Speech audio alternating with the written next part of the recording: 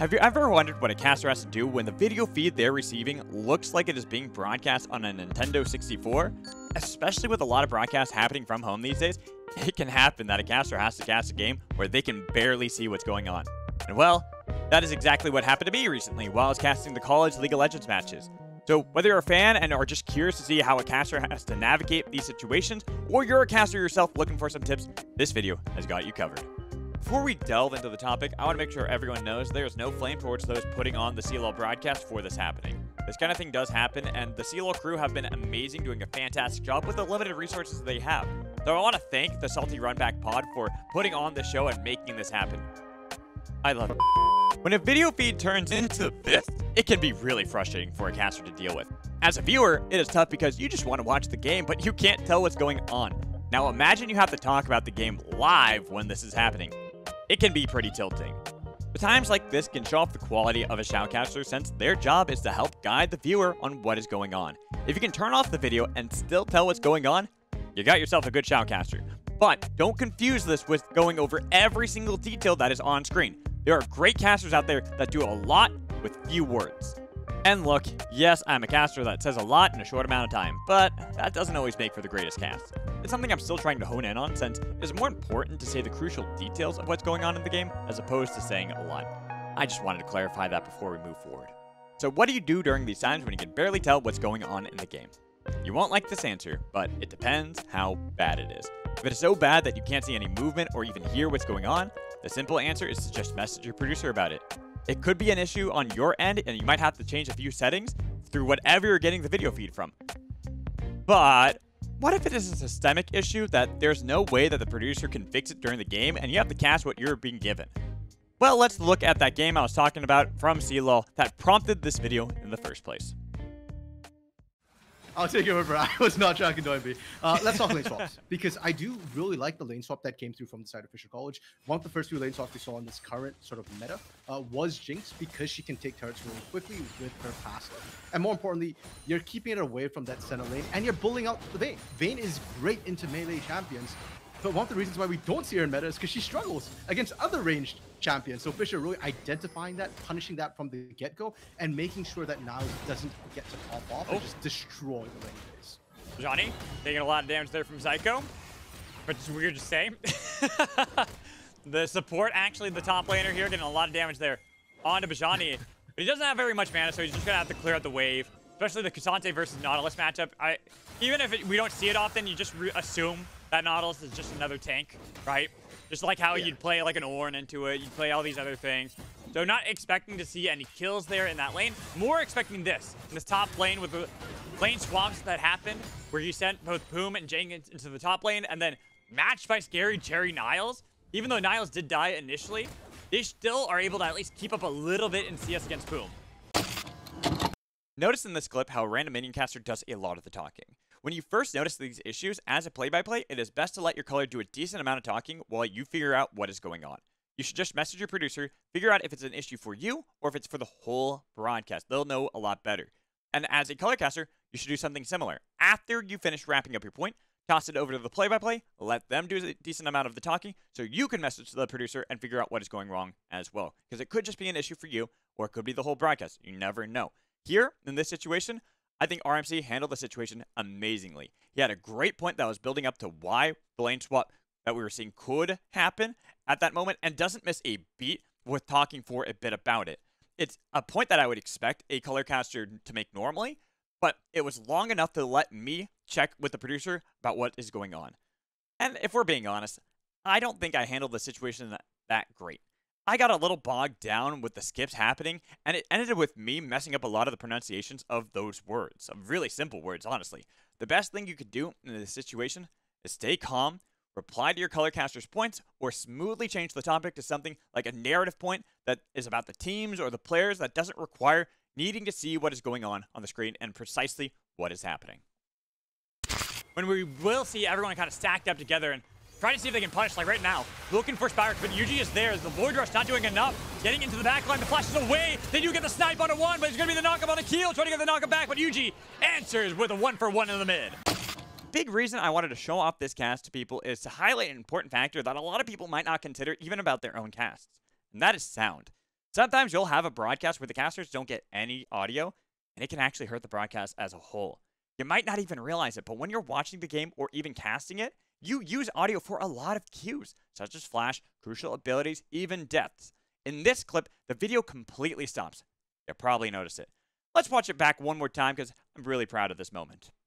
Getting into the back line, the flash is away. Then you get the snipe. I'm still talking my fast style here, but I do stretch out the call a bit more while listening as closely as I can for any sort of cue. Flash is a big one here.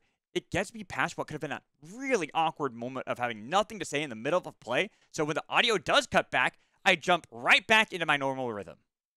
Stopping Yuji from getting these dragons. Weren't stopping Yuji from getting these mites and getting control of the Rift Herald there. Wait a minute. Uh, I don't think you wanted that one all out on to Spyrex, and now Spyrex having tried to flash away. Crawling Despair followed up with the pullback from the Ntofo Strikes. They've got the kill for Bajani, while Yuji having to maybe hop over the wall because look at Poom putting down. Choppers flashed away. Top lane, we got the root itself, the pullback in with the dredge line. They're going to get the kill on a Serenok. Trying to get the shield on the other side, but Keel losing out to Jenkins. Even if it was close, in the side of the pit, trying to get away from the Alcove. Akil dies. Double kill for Scary Jerry. Now, I wanted to include that last clip to show I'm not perfect. I'm not making this video to go, look how awesome I am. That's a given. In that last clip, I made many, many mistakes, but it is important to see these mistakes and learn from them for the future. First off, I got a lot of players' names mixed up. I could use the excuse that their in-game name didn't match their competitive name. That shouldn't be a factor for me. I know these players. I know these teams. I can't let that get to me, and I need to be better for the future.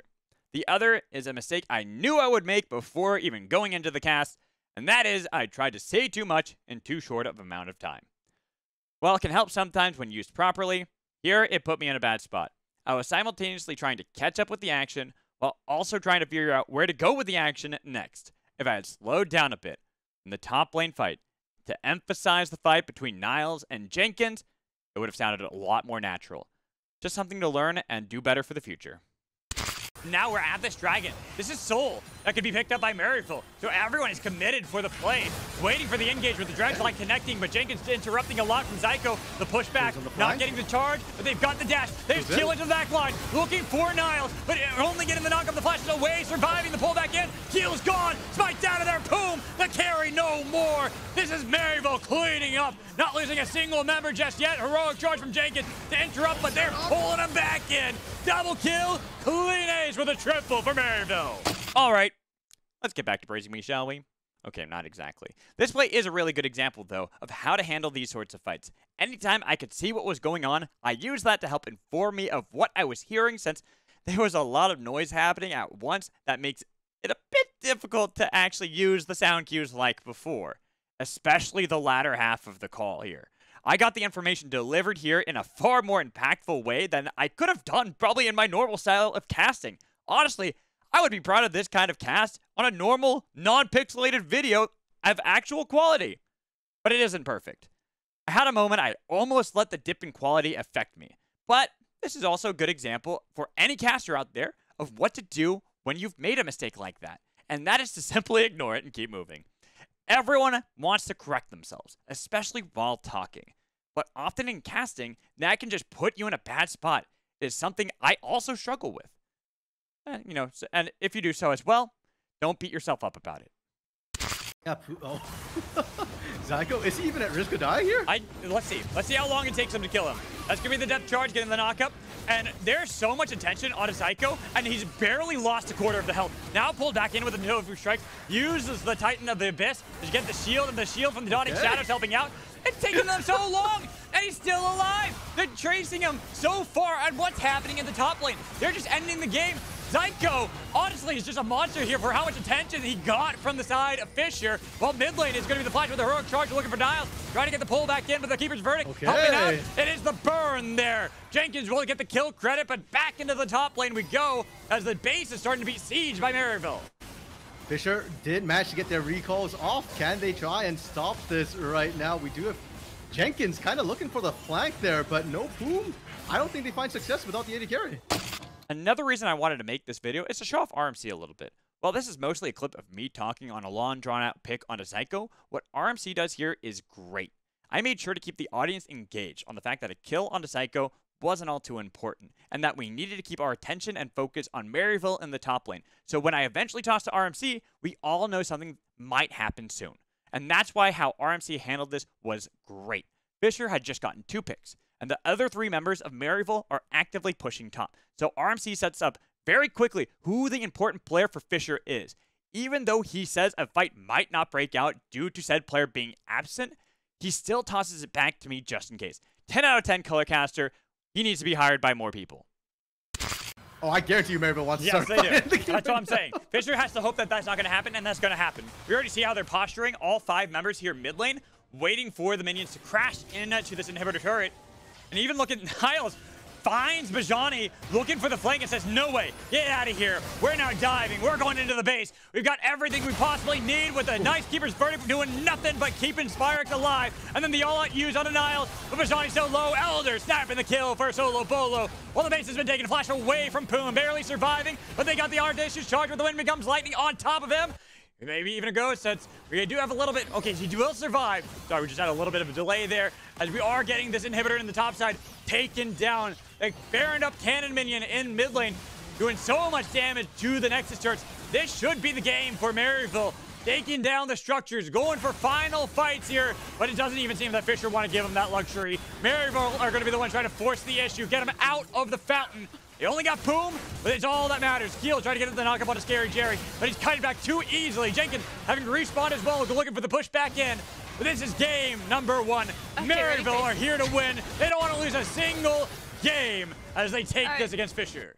This is sadly the last call of the game, and this is where most of the issues arose. During this entire game, the one thing that was carrying me through was the fact that I could at least hear what was going on, and you might have noticed that the audio cut out as well during that fight. That wasn't me editing it. That's what happened live. This is also where I committed the sin of acknowledging the mistake and the issue mid-fight. Now, there are times where you can acknowledge these issues, but that's if they last more than a few seconds.